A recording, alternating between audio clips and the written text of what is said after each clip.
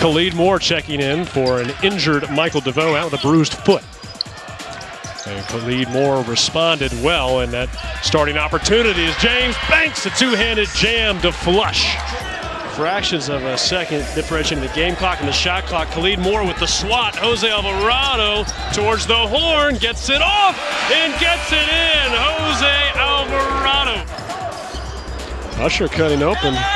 I've really liked his energy tonight as he makes the extra pass to James Banks. Two more points for Banks. Another dime for Jordan Usher. Check. It's over the last minute and a half. They are cruising right along. Come the Maroon Tigers on the other end. Kennedy has a swat attempt from Dedenko, and Cole's got the rebound. Up to Phillips. Behind the back.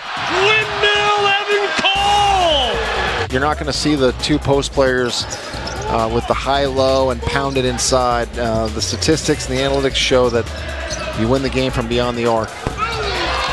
And that's all coach asked for coming in is show a show his young men what it's like to play ACC level ball, and now he gets to go back to practice tomorrow and and push some more buttons and motivate.